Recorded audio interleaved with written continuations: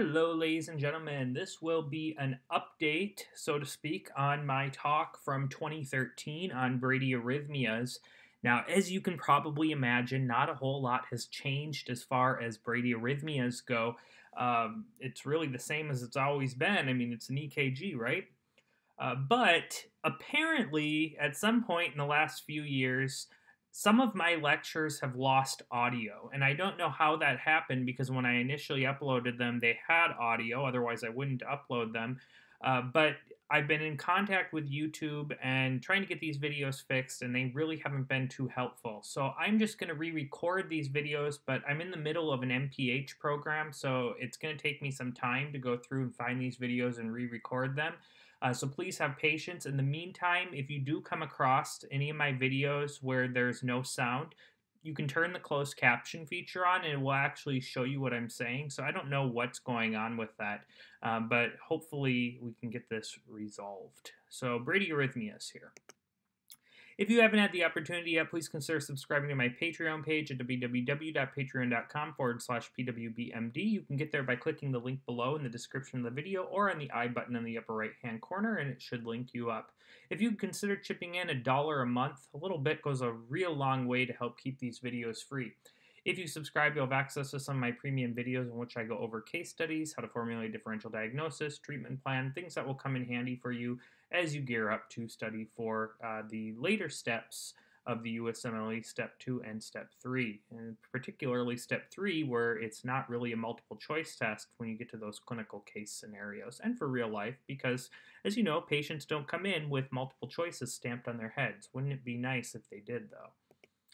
So we're going to talk about bradyarrhythmias here. Apparently, the rest of my videos do have sound, so I'm not going to be updating them anytime soon. They are uh, pretty accurate to now. Like I said, not, none of this stuff has really changed. So bradyarrhythmias I'm going to talk about now. I also have videos on tachyarrhythmias, flutters and fibrillations, and premature contractions and pre-excitations. So what is bradyarrhythmia? Well, Brady means slow. It comes from Greek. Uh, it means slow, and uh, arrhythmia just means an abnormal rhythm. So what do we, uh, what, how do we define a slow heart rate? Well, we define a normal heart rate as between 60 and 100. So anything less than 60 we consider to be slow. Does that mean it's abnormal? No. Uh, there are some people with a naturally slow heart rate. People whose hearts are very strong, that can contract a lot of blood out, their hearts don't need to beat as fast. Who are those people? Those are going to be your endurance athletes, marathon runners. Their hearts are nice and strong and they beat more blood out with, with each beat. So they don't need to beat as fast. So if you have a marathon runner coming in and they've got a heart rate, a resting heart rate of 52 beats per minute, that's totally normal. Now, if you have a little old lady coming in with a heart rate, resting heart rate of, of 50 beats per minute, that might be something that you want to take a look at. So, the most important factor to note is whether the patient is stable. And by stable, we mean how is their blood pressure? Is their blood pressure low?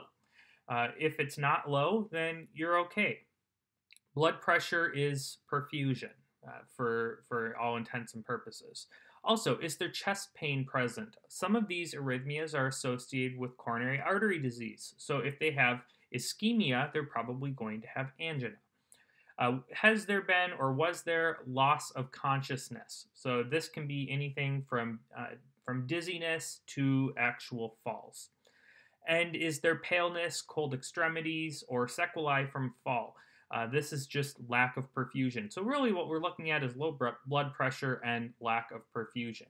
Any patient who's experiencing acute symptoms should receive therapy. And we're going to talk about those two therapies. That's primarily atropine and pacing. And that pacing can be either external, which is typically done for emergency circumstances. Uh, what we do is sort of a, a short term treatment, and then internal pacing, which is a little bit. Uh, it's more long term, but it's more difficult to place. And so that's something that we use for long term treatment. But really, we only do treatment if the patient is acutely symptomatic. So we're going to talk about uh, a variety of different bradyarrhythmias, sinus bradycardia. We're going to talk about the 4AV nodal blocks that you'll see on the test, and then we'll talk about the bundle branch blocks. So sinus bradycardia is simply a heart rate of less than 60, but otherwise it's a totally normal EKG. Now, you're going to need to get EKGs to diagnose any of these. A slow, a slow heartbeat can be any of these, but uh, you need to get an EKG. Sinus bradycardia is just a heart rate of less than 60 with a normal EKG. The PR interval is not prolongated. Remember that a normal PR interval is anywhere between 0.12 and 0.2 seconds, which is going to be approximately the size or a little less than one big box. Also, every P wave is followed by a QRS complex, and the QRS complexes are normal in appearance. You don't have any dimples on the QRS complex, and we'll talk about that when we get to bundle branch blocks. So basically, it's just a normal EKG that's a little bit slow. And there are many causes of sinus bradycardia. So, excessive vagal tone, carotid sinus pressure, hypothyroidism, adverse effects of opiates or benzodiazepines, hypothermia, seizures, ischemic heart disease, and acute MI. You can see some of these are are uh, are, are, are well, these are all abnormal, uh, but some of these are obvious in why they cause uh, a uh, a uh, low heart rate. So excessive vagal tone, um, carotid sinus pressure, kind of along the same lines. Uh, hypothermia is going to slow the heart down. Ischemic heart disease and acute MI, as we're going to talk about, not so much causing bradycardia, uh, but these ones are going to be really big uh, when when we get to uh, the AV blocks. So many causes of sinus bradycardia. The symptoms, if present, will be those typical features of hypoperfusion. So dizziness, syncope, disorientation, lightheadedness, hypotension when you get your your uh, your blood pressure. So sinus bradycardia can happen to virtually anyone. It's not always abnormal. If there are symptoms, uh, it's going to be things like lightheadedness, confusion, loss of consciousness, and dizziness. Physical exam, really all you're going to see is a heart rate less than 60 and hypotension, and that would be considered a symptom which would warrant treatment. They may appear distressed. Again, that's all uh, has to do with low perfusion. Loss of consciousness can happen as well. The diagnosis is going to be a low heart rate, and a person with low heart rate, especially if they have symptoms, that will indicate an EKG. And an EKG will show you sinus bradycardia. You're not going to see anything abnormal other than the low heart rate. The treatment is to establish IV access and then administer IV atropine until there's resolution. If it's refractory, then you'll initiate transcutaneous pacing, and that would be our first step as far as pacing. But these patients are going to ultimately need a uh, an internal pacing. And the reason is because transcutaneous pacing is very uncomfortable. You basically have something above uh, uh on the skin that's that's causing the heart to contract. It's very uncomfortable. So you'll ultimately want to establish internal pacing, but this is sort of our stopgap in, the meantime. Now, like I said, not all patients with sinus bradycardia need treatment, so you need to use your clinical judgment here. So this is an example of sinus bradycardia, and one of the reasons that it's kind of nice I'm going over some of these videos is that you can see we're widescreen now, so I can make some of these images a little bit bigger. So this is sinus bradycardia. It often helps to look at this long strip on the bottom. You can see that we are uh, probably about, I don't know, 50 some beats per minute here, maybe a little bit slower. And uh, you can see that there's, uh, the P waves aren't very clear here, but you can see here's a P wave right here, and then here's your QRS complex, and it's roughly one big block. So one big box. It's a little bit shorter, but not by much. Uh, so here's your, your P wave here where it ends, and then here's your QRS complex. It's almost exactly one big box. So this is sinus bradycardia. QRS complexes look normal. They're nice and you know pretty narrow. Uh, you don't have any widening. There's no dimple. So this all looks good. Here's another one here. And here's another one. So this is uh, quite slow. So 360, 180, 120, uh, 90, 60. So this is quite a slow heartbeat here. All right, now getting onto the AV nodal blocks, this is going to be the bulk of what we're going to talk about. This is a conduction disorder due to interruption between the SA node and the AV node. And the S between the SA node and the AV node, that's really your uh, your your PR interval. And so when you have a block there, it results in an elongation of the PR interval. So that's the end of the P wave all the way to the peak of your QRS complex, which is your R point. So that's that's the distance that you're measuring. If it's more than one big block, it's considered prolonged. That's more than 0.2 seconds. It can be normal in some patients, uh, insofar as it's uh, as it's congenital. If it's acquired, the usual cause is ischemia. It can be post-MI feature, or it com- can come on due to a chronic coronary artery disease. The symptoms of present, again, typical features of hypoperfusion, dizziness, syncope, disorientation, lightheadedness, hypotension when you get your, your uh, blood pressure. So here's your conduction system. So you have your sinoatrial node here, SA node, and the sinoatrial node just sits between the superior vena cava and the right atrium, and it really controls the heart rate. It overrides the AV node. The AV node right here sits on the border of the uh, the atria and the ventricles, and this has its own intrinsic firing rate. So if this uh, if the if there's a disruption between the SA node and the AV node and it's going slower, the AV node can actually take over. The problem is the AV node's intrinsic firing rate is only about 40 to 60 beats per minute. So let's say you totally wipe out your SA node, your AV node would take over, but it would be 40 to 60 beats per minute. It would be very, very slow. And so uh, that's why you can see here that there is an association between disruption between the SA and AV node and bradycardia. And then, uh, as we're going to see uh, when we get to bundle branch blocks, there's this uh, the left and right bundle branch, uh, which which runs along the uh, the ventricular septum, interventricular septum, and it conducts along the left and right side of the ventricles. And this is very important for ventricular uh, contraction. We're going to talk about four different kinds of AV nodal block first degree, two types of second degree, and third degree. And this is very high yield for USMLE. You'll want to know the difference between all four of these. And it's not tremendously difficult. You just need to memorize them. So an AV nodal block in general, look for a history of coronary artery disease. Uh, a coronary artery disease is going to uh, disrupt those cells between the SA and AV node. And that's why you see a lot of association between coronary artery disease and atrial fibrillation, for example, because it disrupts cells that uh, result in atrial contraction. So some of the symptoms uh, of first degree AV block, it can be congenital, so generally it doesn't have symptoms. Uh, with second degree AV blocks, they may or may not have symptoms of hypoperfusion depending on how severe it is, but with the third degree blocks, they almost always have symptoms of hypoperfusion, particularly loss of consciousness, sporadic loss of consciousness.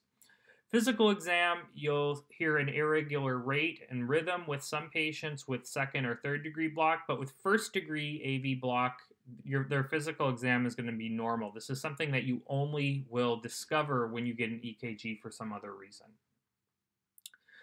Diagnosis. So, heart rate less than 60, along with symptoms of hypoperfusion, should warrant an EKG, as we've already talked about. EKG findings for AV nodal block, it's going to depend on the type. So, here we go. We're going to talk about these four types. So, here is a first degree AV block. And really, this is, you can't really tell just by this alone necessarily, but it looks fairly normal. Uh, all you have here is a uh, you, you can tell just based on the uh, uh on how many big blocks. So look, 360, 180, 120, 90, uh, 60, and then what's 360 divided by uh, one, two, three, four, five, six. Okay, so you're a little less than 60 beats per minute here. so this is technically bradycardia. But more importantly, here you can see from the end of your P wave, uh, to your uh, uh, your R, and I guess I drew this a little too far here. Uh, but you can see here uh, is your your R, and here is the end of your P wave. It is more than one big blo uh, block. So here's your P, end of your P, and here's your R coming down here. so it's about seven little blocks, or one point, I guess you could say like 1.3 big blocks. You don't need to worry about converting those to seconds. You just need to know that if the if the PR interval is more than one big block, it's considered prolonged PR interval. Okay, so this is a first degree AV block. Everything else is totally normal. So you can see much uh, lower heart rate here, uh, but what's most important is uh, the, uh, the, the fact that you have regular uh, you have a regular rate and then your uh, PR interval is prolonged. That's the only thing that's abnormal here as far as conduction goes. So here's another one here. Uh, and really, this is not in the setting of bradycardia, uh, but you do have a prolonged PR interval. Now, a prolonged PR interval by itself does not uh, does not necessarily tell you that it's a first degree AV block. A first degree AV block is just an isolated prolonged PR interval. And you're not going to have any other abnormal findings that would lend itself to a diagnosis of some other AV block. Okay, now this is a second degree AV block, and second degree AV blocks come in two different flavors, Mobitz type 1 and Mobitz type 2, and they're very different, so you'll want to know the difference. So a second degree AV block, type 1, also known as Wenckebach, is a progressive PR elongation. So think of Mobitz type 1, second degree Mobitz type 1, with progressive PR elongation. So look at this PR uh, interval here. It's fairly normal. It's about one big block. And now this one here is quite longer. So here you're about uh, one and a half. Well, maybe a little less than one and a half. This one here, you're almost two big blocks. And then all of the sudden, and this is characteristic of Wenckebach, you have a drop. So here is a, a P wave, and there's no QRS complex. So you have prolongation, progressive prolongation of the PR interval, and then a drop. And then it happens again. And oftentimes the drop is regular. So you have beat, beat, beat, drop, beat, beat, beat, drop, beat, beat, beat, drop, and so forth. And that PR interval is getting longer with each beat. And then after the drop, then it starts out uh, fairly normal again, and then prolongs and so forth. That is Mobitz type 1 or Wenckebach, and that's a type of second degree AV block. So here's another one. You can see uh, this one, there's a drop every, looks like almost every other uh, uh, beat here. And then here's another one. So here you have four beats and then a drop. So notice the PR interval, it gets longer and longer and longer, and then you have a drop. Now, Mobitz type 2 is where you have a normal PR interval with intermittent drop beats. So look at this PR interval here. It is normal. This is less than one big block. And then all of a sudden, you have a drop. And here, actually, you have two drops here's your, your P wave, here's another P wave, and you have no corresponding QRS complex. So that is a second degree AV block, Mobitz type 2. So you have normal PR intervals, but intermittent dropped beats.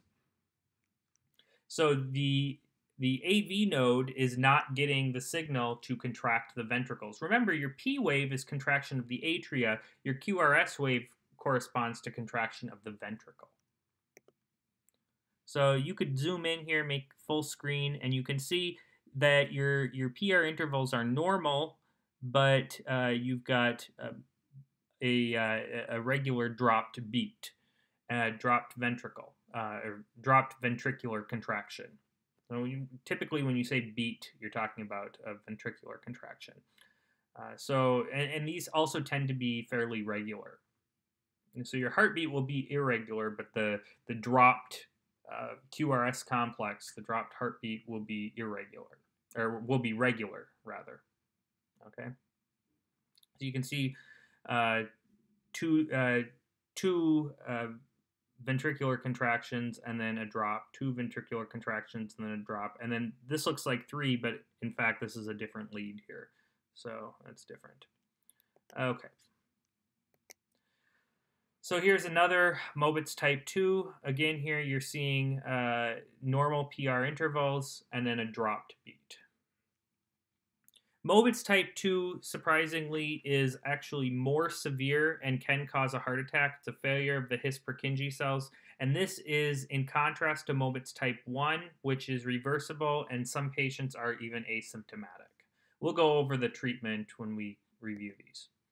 Now, this is a third degree AV block. There is no correlation between the P wave and the QRS complex. So here you see a P wave and a QRS complex, two big boxes in between that.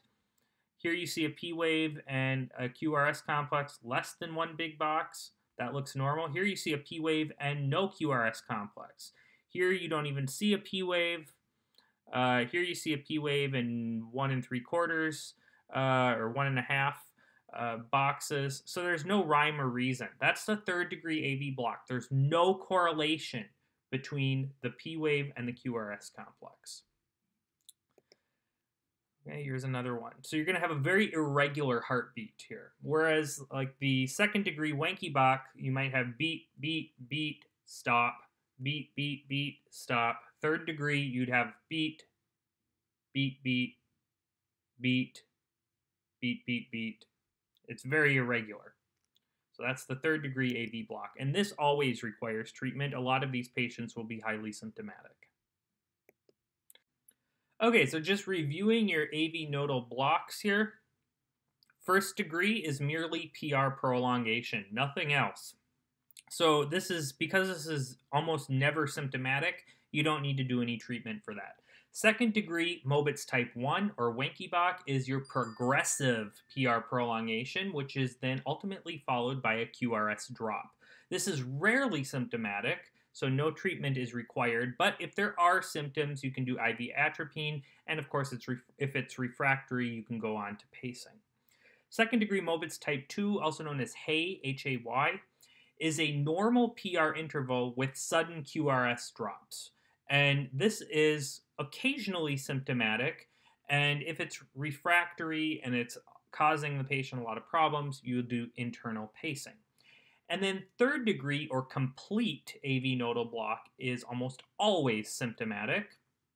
In here, you have no association between your P wave and your QRS complex, and these patients will ultimately need internal pacing.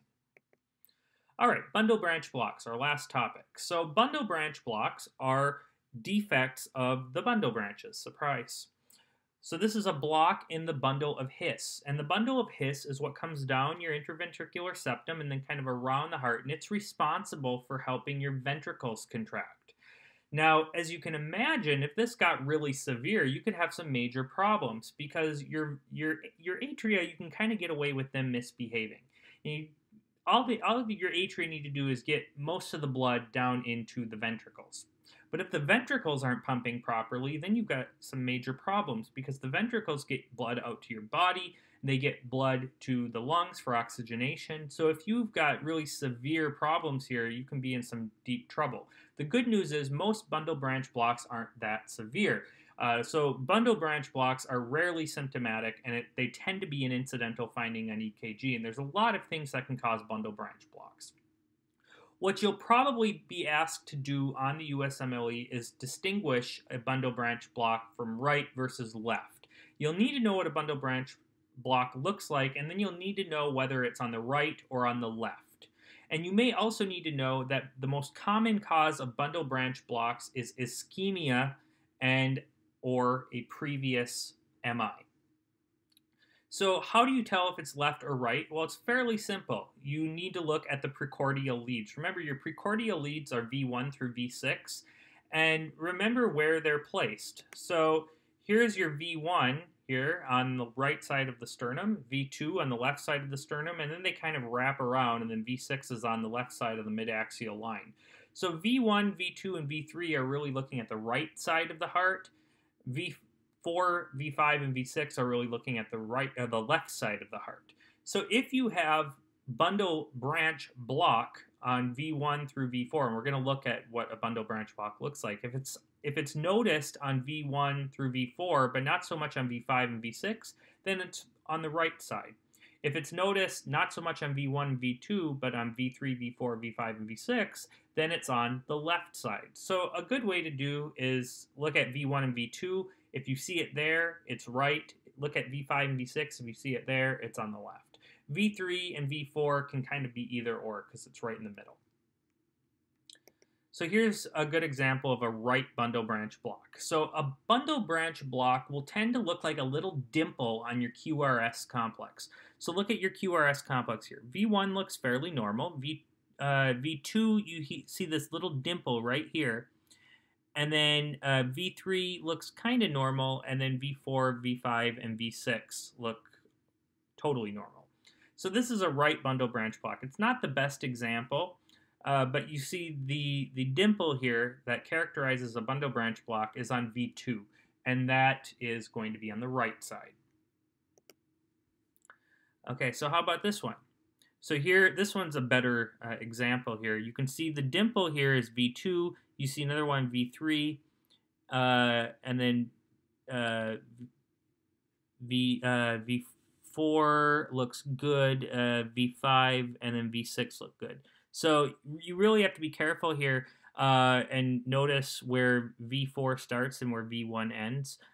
So this is where V4 starts. So V4, V5, and V6 all look normal, but you see the dimpling here on V2. Uh, it's quite an obvious dimple. See how it comes all the way down here? So this is uh, a right bundle branch block. Okay, this uh, these aren't the best pictures. You can go on and uh, and look at some of the pictures on uh, Google Images. If you just type in bundle branch block, it should show you. Uh, but here again, you see that dimple on uh, V2. V4, V5, and V6 all look good. So here's a left bundle branch block you see that your QRS complex on V1, V2, and V3 look good, but here's that dimpling again here on V4. Here you see that little dimple on V5. V6 looks all right. So because this is happening more on the left side with V4 and V5, uh, that's a left bundle branch block. And then here is uh, another one here. You see the dimple on V6. You see it more pronounced on V5, not so much on V4, V3, and V2 and V1 look good. So, what causes bundle branch blocks? Like I said, most commonly it's coronary artery disease and uh, previous MI.